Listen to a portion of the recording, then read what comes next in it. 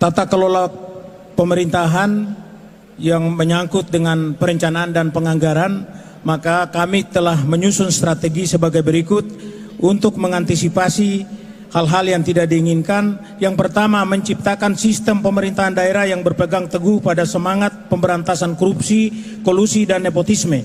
Yang kedua, menempatkan pimpinan SKPD berdasarkan kompetensi dan keilmuan masing-masing bukan berdasarkan asas kesukaan atau kelompok atau golongan atau kedekatan personal. Yang ketiga, menyusun strategi tata kelola perencanaan pemerintahan dan penganggaran berdasarkan paradigma good governance dengan melibatkan seluruh perangkat pemerintah, pemerintah daerah dan memaksimalkan partisipasi aktif masyarakat dalam ikut mengontrol pelaksanaan pemerintahan dan penganggaran.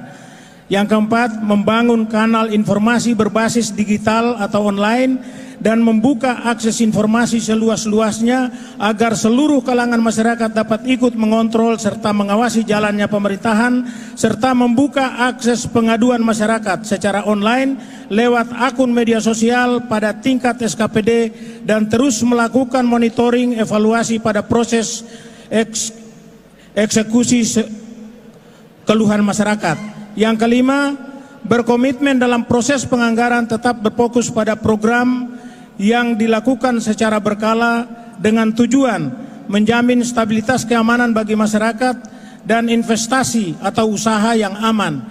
Yang berikutnya, mengembangkan sumber daya manusia dalam bidang pendidikan, kesehatan, dan lapangan pekerjaan.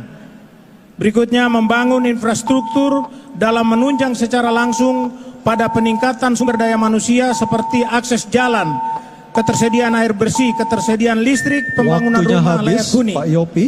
Terima, Terima kasih. kasih. Terima kasih Pak Yopi. Download Tribun X sekarang. Menghadirkan lokal menjadi Indonesia.